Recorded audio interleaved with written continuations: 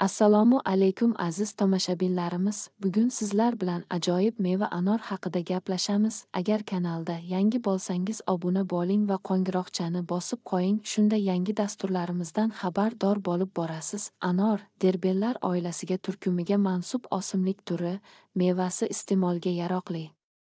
Anor mevalarini ozuqa mevasi sifatida xom holda, tayyor ovqatga solishda, shuningdek, sharbatini olib, ichimlik sifatida foydalanish mumkin.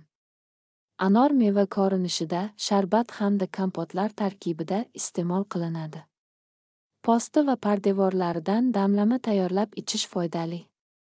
Donlarini ham butunligicha yeb yuborish yoki turli issiq va sovuq taomlarni tayyorlashda qo'llash mumkin.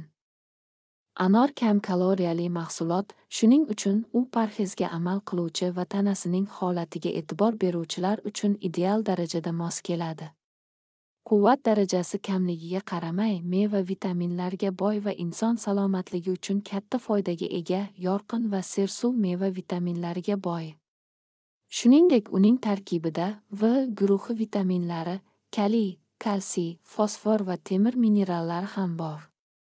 Vitaminlarning bunday birikmasi asab tizimi uchun foydali. Anor tarkibida dezinfeksiya ta'sirini ko'rsatuvchi moddalar bo'lib, u ichak buzilishlari, ich ketishiga qarshi kurashishda yordam beradi. Anor yoshlik mevasi deb ataladi. Bu uning tarkibidagi antioksidantlar miqdorining ko'pligi bilan bog'liq. Ushbu moddalar organizmdagi oksidlanish jarayonlarini sekinlashtiradi, boshqacha qilib aytganda, qarish jarayonini sekinlashtiradi. Qiziqarli fakt: ko'k choy anor mevalari bilan taqqoslanganda kamroq antioksidantlarga ega, davolash xususiyatlari anor mevalaridan odamni tinchlantirib, asabiy zoriqishning oladigan choyni tayyorlash mumkin. Buning uchun pishgan mevaning postlogi va pardevorlarini quritish lozim. Undan keyin esa choy yoki boshqa ichimlikka maydalangan quruq anordan biroz qoshish mumkin. Shimoliy yarim-sharda anor mavsumi odatda sentyabrdan fevralgacha, janubiy yarim-sharda martdan maygacha davom etadi. Qisqacha tavsifi: bo'yi 2 metrga yetadigan buta. Bargi choziq, teskari tuxumsimon, uzunligi 6-8 sm, eni 7-15 mm, charmsimon, qisqa shoxlarda top-top, uzun shoxlarda esa qarama-qarshi o'rnashgan. Guli kalta novdalarda joylashgan. Kosachasi qayishsimon mustahkam, tojbargi och qizil rangda. Mevasi yumaloq, yirik. May, avgustda gullab, sentyabr, oktyabr oylarida meva beradi. Tarqalishi.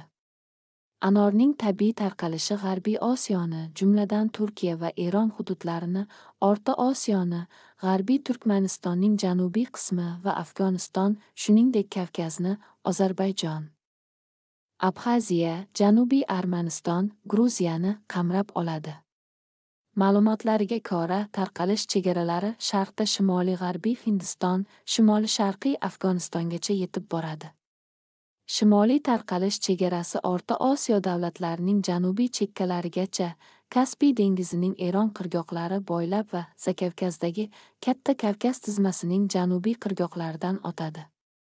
Anorning garbiy chegaralari Kichik Osiyo qirg'oqlarigacha, janubda yovvoyi anorning tarqalishi Arab dengizi qirg'oqlarigacha cho'zilgan. O'rta Osiyoda yovvoyi anor O'zbekiston va Tojikistonda Hisor, Darvoza va Qorategin tizmalarining yon bagirlarida uchraydi. Sizga ma'lumotlarimiz yoqqan bo'lsa, biz xursandmiz.